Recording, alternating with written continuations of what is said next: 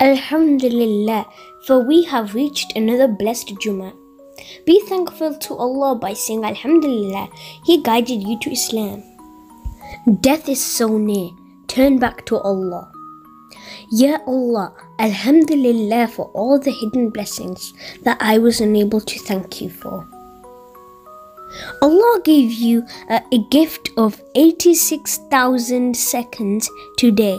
Have you used one to say Alhamdulillah?